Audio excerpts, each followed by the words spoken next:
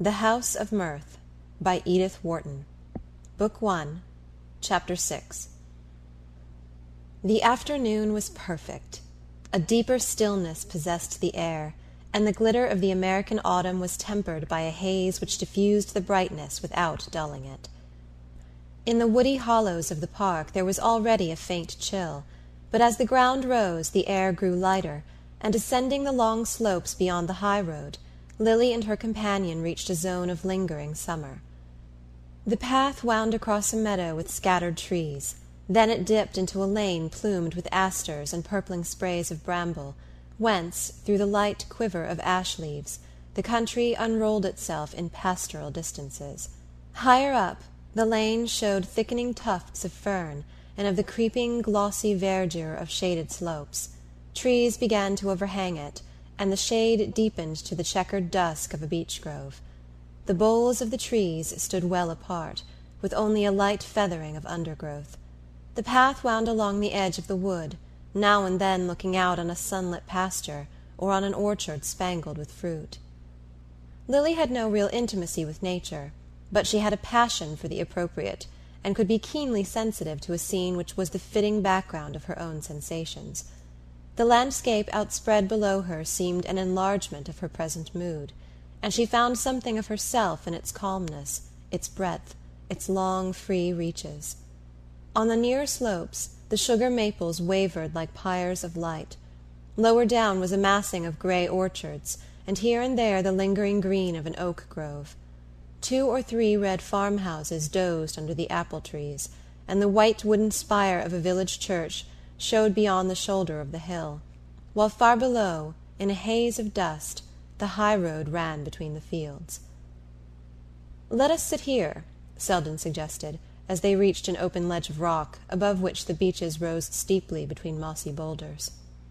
Lily dropped down on the rock, glowing with her long climb. She sat quiet her lips parted by the stress of the ascent, her eyes wandering peacefully over the broken ranges of the landscape. Selden stretched himself on the grass at her feet, tilting his hat against the level sun rays, and clasping his hands behind his head, which rested against the side of the rock. He had no wish to make her talk; her quick breathing silence seemed a part of the general hush and harmony of things. In his own mind there was only a lazy sense of pleasure veiling the sharp edges of sensation as the September haze veiled the scene at their feet. But Lily, though her attitude was as calm as his, was throbbing inwardly with a rush of thoughts. There were in her at the moment two beings, one drawing deep breaths of freedom and exhilaration, the other gasping for air in a little black prison house of fears. But gradually the captive's gasps grew fainter, or the other paid less heed to them the horizon expanded, the air grew stronger, and the free spirit quivered for flight. She could not herself have explained the sense of buoyancy which seemed to lift and swing her above the sun suffused world at her feet.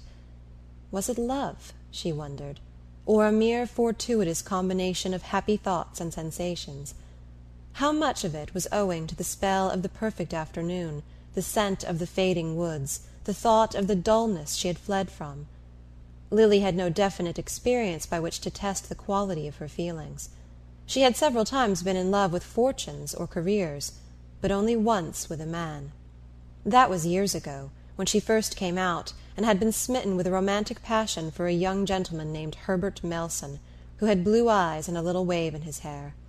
Mr. Melson, who was possessed of no other negotiable securities, had hastened to employ these in capturing the eldest Miss Van Osburgh. Since then he had grown stout and wheezy, and was given to telling anecdotes about his children. If Lily recalled this early emotion it was not to compare it with that which now possessed her. The only point of comparison was the sense of lightness, of emancipation, which she remembered feeling in the whirl of a waltz or the seclusion of a conservatory during the brief course of her youthful romance. She had not known again till to-day that lightness, that glow of freedom. But now it was something more than a blind groping of the blood. The peculiar charm of her feeling for Selden was that she understood it. She could put her finger on every link of the chain that was drawing them together. Though his popularity was of the quiet kind, felt rather than actively expressed among his friends, she had never mistaken his inconspicuousness for obscurity. His reputed cultivation was generally regarded as a slight obstacle to easy intercourse; but Lily, who prided herself on her broad minded recognition of literature, and always carried an Omar Khayyam in her travelling bag, was attracted by this attribute, which she felt would have had its distinction in an older society.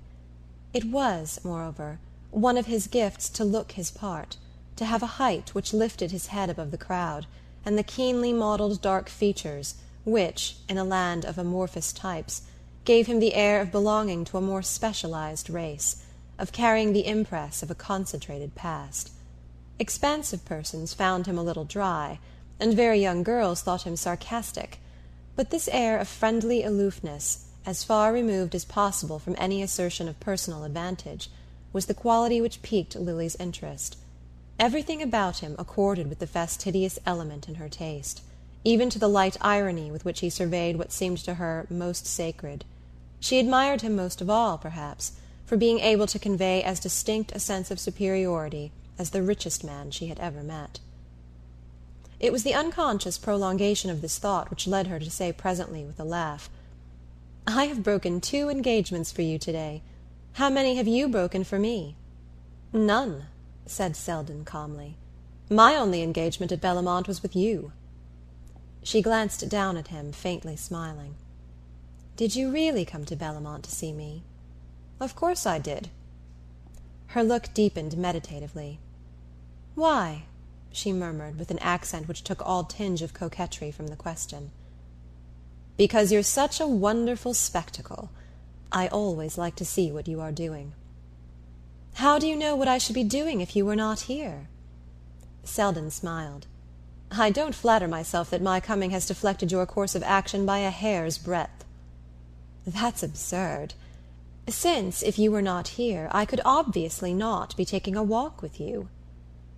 "No; but your taking a walk with me is only another way of making use of your material. You are an artist, and I happen to be the bit of colour you are using to day. It's a part of your cleverness to be able to produce premeditated effects extemporaneously. Lily smiled also. His words were too acute not to strike her sense of humour. It was true that she meant to use the accident of his presence as part of a very definite effect; or that, at least, was the secret pretext she had found for breaking her promise to walk with Mr. Gryce. She had sometimes been accused of being too eager; even Judy Trenor had warned her to go slowly. Well, she would not be too eager in this case. She would give her suitor a longer taste of suspense. Where duty and inclination jumped together it was not in Lily's nature to hold them asunder. She had excused herself from the walk on the plea of a headache, the horrid headache which, in the morning, had prevented her venturing to church. Her appearance at luncheon justified the excuse. She looked languid, full of a suffering sweetness; she carried a scent bottle in her hand. Mr. Gryce was new to such manifestations; he wondered rather nervously if she were delicate having far reaching fears about the future of his progeny. But sympathy won the day, and he besought her not to expose herself; he always connected the outer air with ideas of exposure.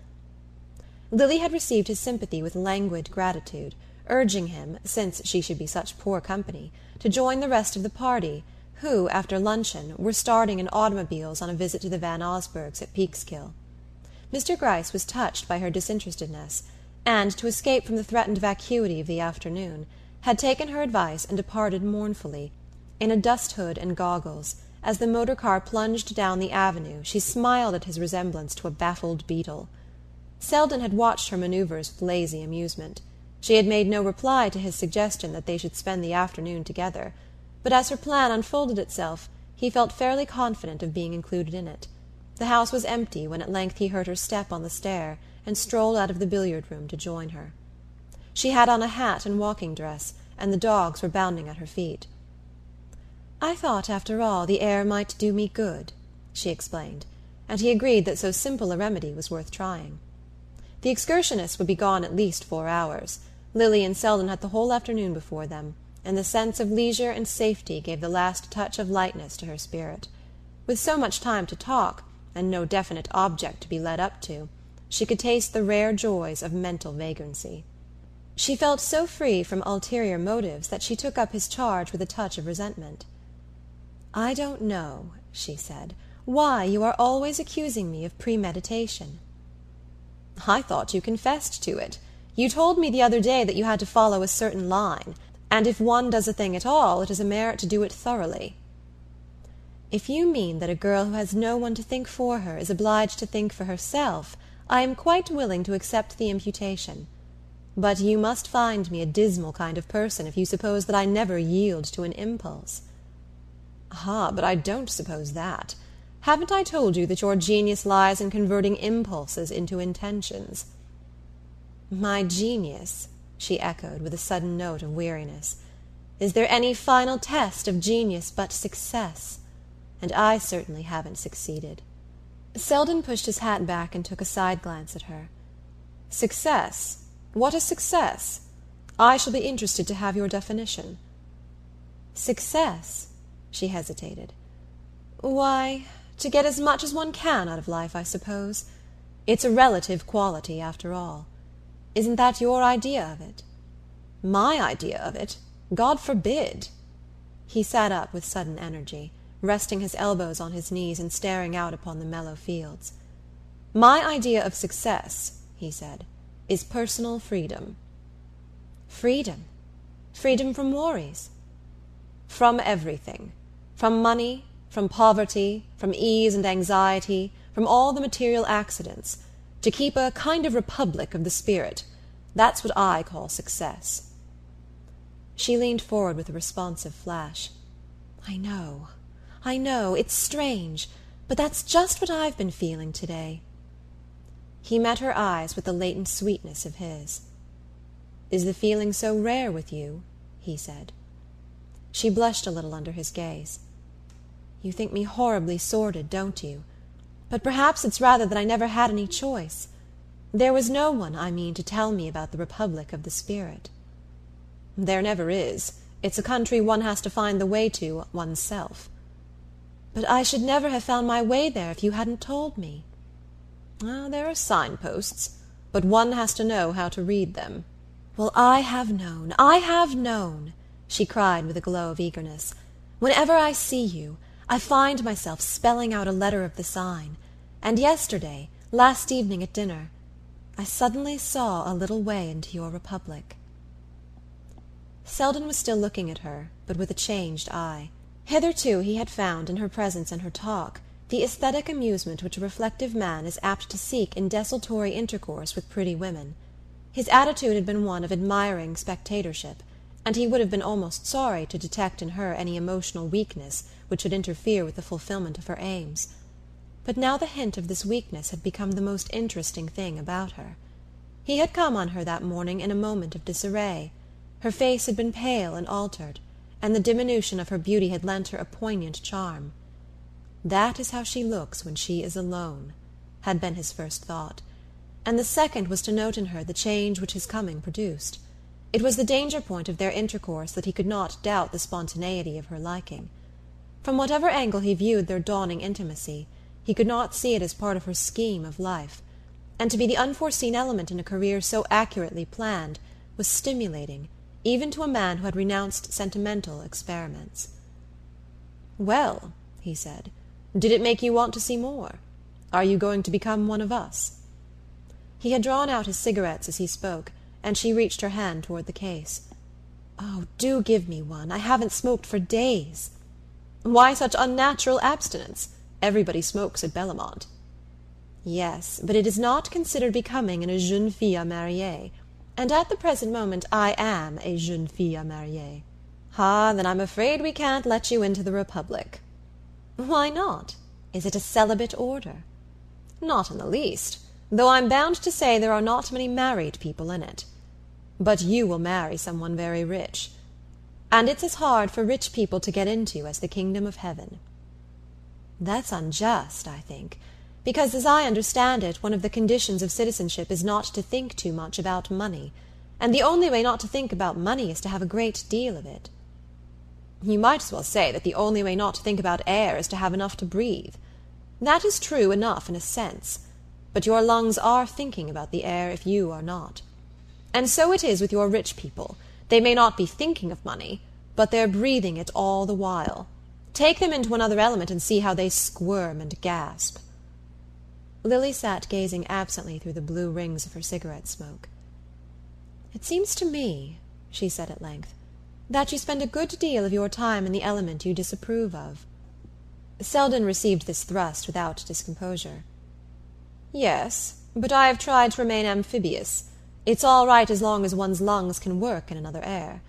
The real alchemy consists in being able to turn gold back again into something else, and that's the secret that most of your friends have lost. Lily mused.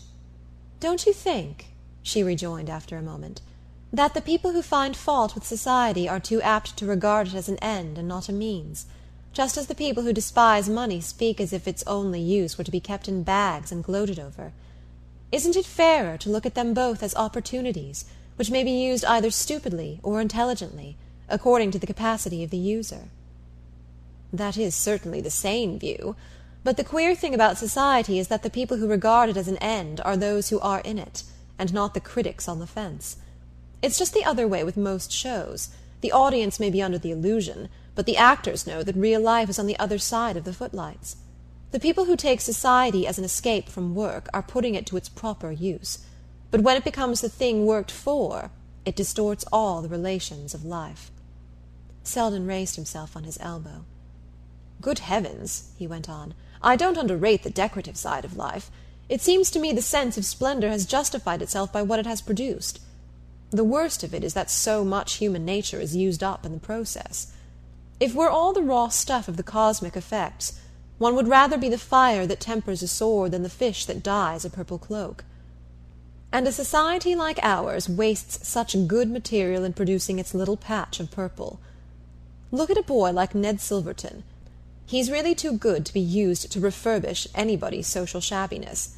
There's a lad just setting out to discover the universe. Isn't it a pity he should end by finding it in Mrs. Fisher's drawing room? Ned is a dear boy, and I hope he will keep his illusions long enough to write some nice poetry about them. But do you think it is only in society that he is likely to lose them? Selden answered her with a shrug. Why do we call all our generous ideas illusions, and the mean ones truths? Isn't it a sufficient condemnation of society to find one's self accepting such phraseology?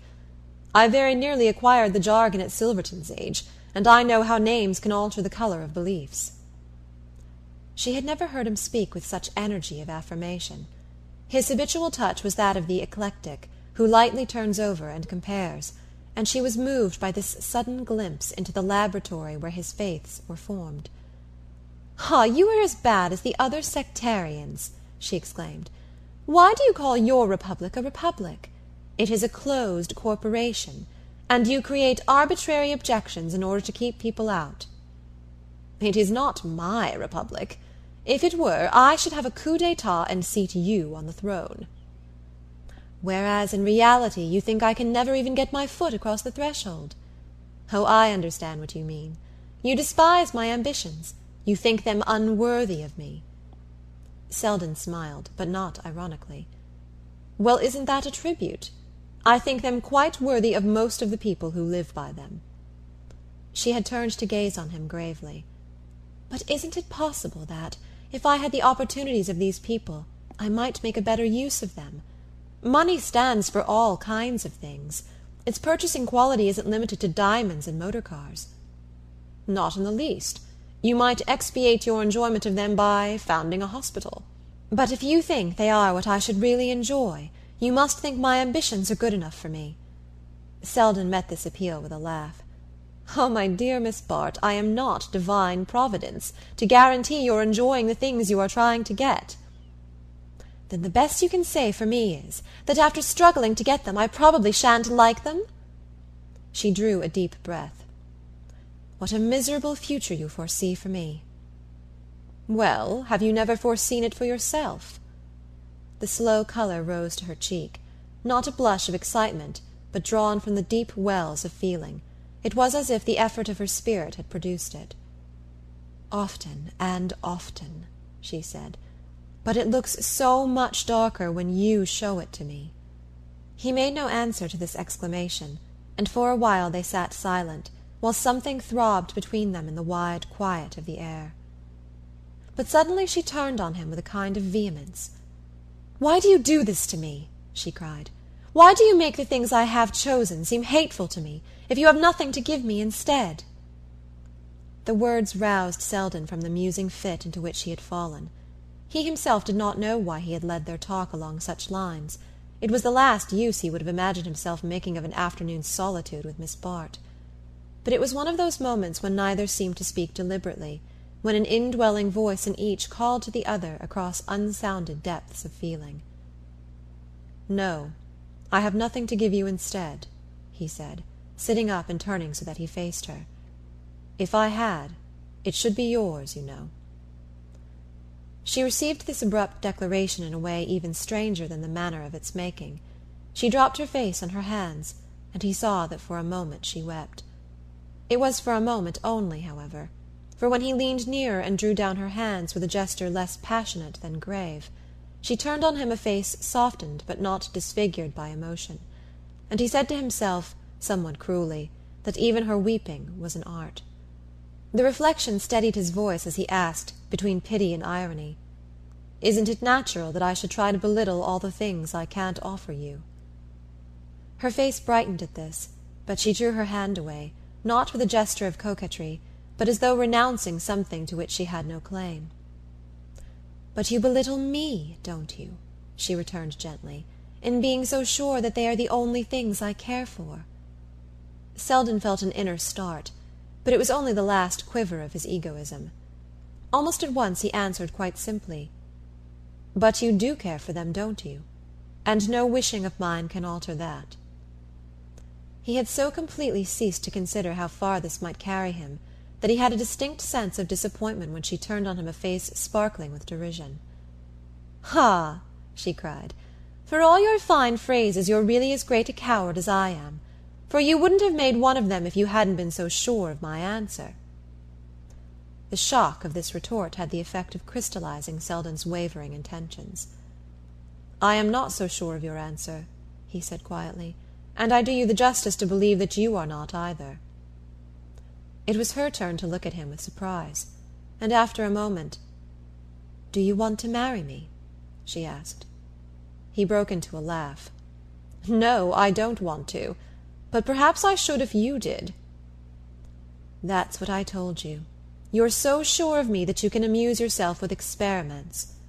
She drew back the hand he had regained, and sat looking down on him sadly. "I am not making experiments," he returned. "Or if I am, it is not on you, but on myself. I don't know what effect they are going to have on me; but if marrying you is one of them, I will take the risk." She smiled faintly. It would be a great risk, certainly. I have never concealed from you how great." "Ah, it's you who are the coward!" he exclaimed. She had risen, and he stood facing her with his eyes on hers. The soft isolation of the falling day enveloped them; they seemed lifted into a finer air. All the exquisite influences of the hour trembled in their veins, and drew them to each other as the loosened leaves were drawn to the earth. "It's you who are the coward!" He repeated, catching her hands in his. She leaned on him for a moment, as if with a drop of tired wings. He felt as though her heart were beating rather with the stress of a long flight than the thrill of new distances.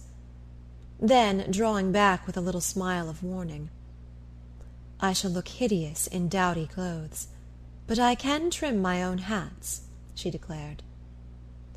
They stood silent for a while after this smiling at each other like adventurous children who have climbed to a forbidden height from which they discover a new world. The actual world at their feet was veiling itself in dimness, and across the valley a clear moon rose in the denser blue. Suddenly they heard a remote sound, like the hum of a giant insect, and following the high road, which wound wider through the surrounding twilight, a black object rushed across their vision. Lily started from her attitude of absorption. Her smile faded, and she began to move toward the lane. "I had no idea it was so late. We shall not be back till after dark," she said, almost impatiently. Selden was looking at her with surprise. It took him a moment to regain his usual view of her. Then he said, with an uncontrollable note of dryness, "That was not one of our party. The motor was going the other way." "I know, I know." She paused, and he saw her redden through the twilight. "But I told them I was not well, that I should not go out. Let us go down," she murmured. Selden continued to look at her. Then he drew his cigarette case from his pocket and slowly lit a cigarette. It seemed to him necessary, at that moment, to proclaim, by some habitual gesture of this sort, his recovered hold on the actual. He had an almost puerile wish to let his companion see that, their flight over, he had landed on his feet. She waited while the spark flickered under his curved palm; then he held out the cigarettes to her. She took one with an unsteady hand and, putting it to her lips, leaned forward to draw her light from his. In the indistinctness the little red gleam lit up the lower part of her face, and he saw her mouth tremble into a smile. "Were you serious?" she asked, with an odd thrill of gaiety which she might have caught up in haste from a heap of stock inflections, without having time to select the just note. Selden's voice was under better control. "Why not?" he returned. You see I took no risks in being so." And as she continued to stand before him, a little pale under the retort, he added quickly, "Let us go down." End of chapter six.